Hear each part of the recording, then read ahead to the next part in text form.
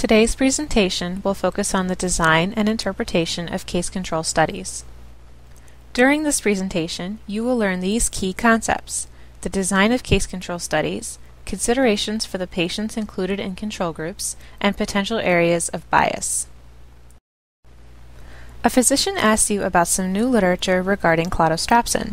There was a case control study by S. Arkoma and colleagues in the Journal of Abnormal Findings that reported that the odds of developing cancer were increased by 10.4 fold for patients who received cladostrapsine. The physicians no longer wish to use this medication, which has proven efficacy. How would you assess this article based upon the type of study methodology used? Are the physician's actions appropriate? Let's further examine this case control study. This type of study is very useful for studying rare outcomes such as fractures or cardiovascular events.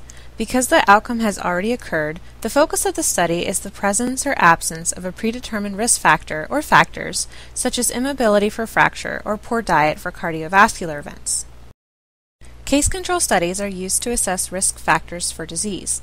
They are retrospective because the outcomes have already occurred and they are hypothesis generating. Cases, or the group with the outcome, are studied for the presence of a predetermined exposure or risk factor. Other information such as demographics and comorbidities will also be collected. The same information is collected for the controls, or the group without the outcome. The measure of association that is calculated for case control studies is the odds ratio. This differs from relative risk because the outcome has already occurred and we cannot comment on the incidence of disease.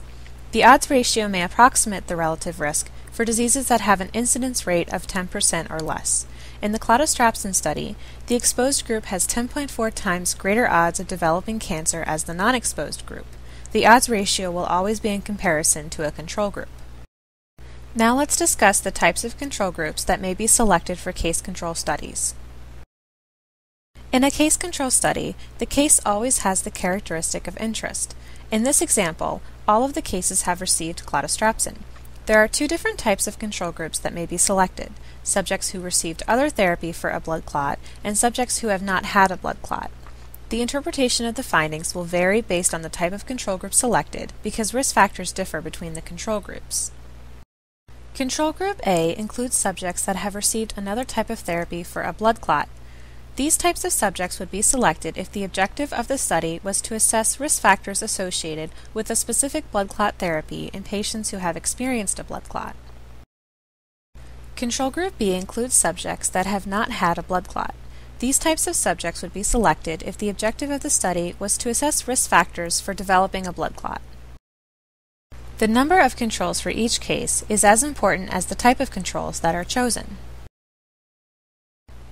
Luckily, there have been statisticians that have calculated the most efficient case control ratio.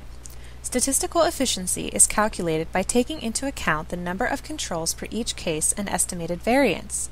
This efficiency looks at a 1 to 1 ratio, a 1 to 2 ratio, and so on until one case is mathematically matched to an infinite number of controls. The benefit that you receive from matching each case with a certain number of controls is compared to standard matched pairs or a one-to-one ratio. The statistical efficiency does not increase by a large amount after a 1 to 4 ratio. If you matched based on a 1 to 5 or 1 to 6 ratio, the benefit would only be incrementally better than a 1 to 4 ratio. Taking into account bias is essential to the proper interpretation of case control studies. Due to the fact that case control studies are retrospective, there is the possibility that the risk factor has occurred after the disease. It is also important to critically assess the control group subjects.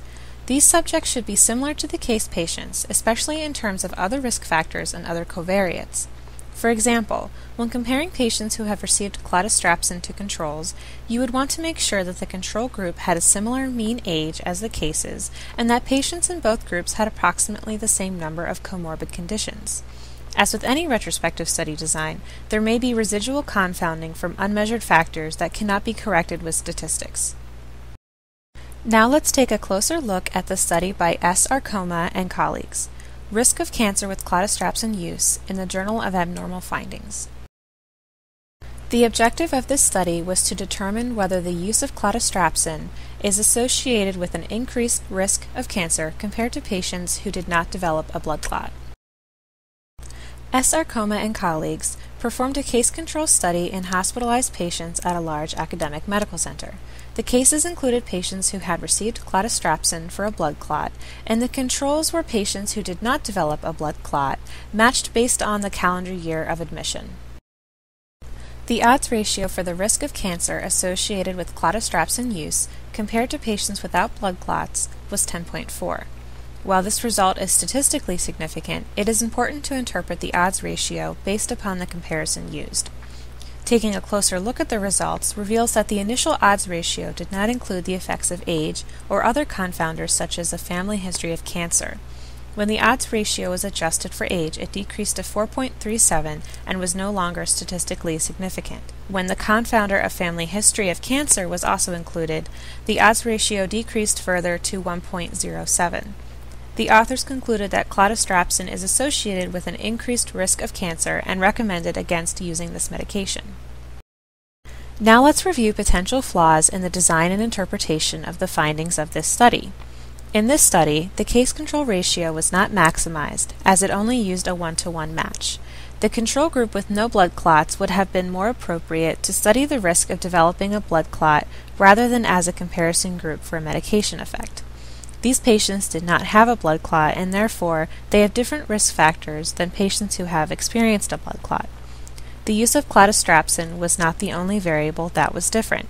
It would have been more appropriate to select a control group that had developed a blood clot but was treated with a different agent. There were several confounders that were not accounted for in the conclusion, including age and family history of cancer. Cancer is also an independent risk factor for a blood clot, and this was not included in the study. To summarize, case control studies are hypothesis generating and causation cannot be shown. It is important to assess potential confounders depending on the type of controls and objectives of the study and interpret the findings correctly based upon the control group utilized.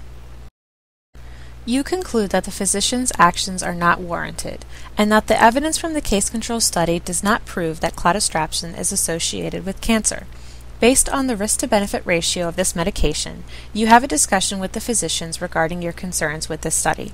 The physicians agree that this is not enough evidence to discontinue use of cladostrapsine. In this case, further study is needed to show an association between cladostrapsine and cancer.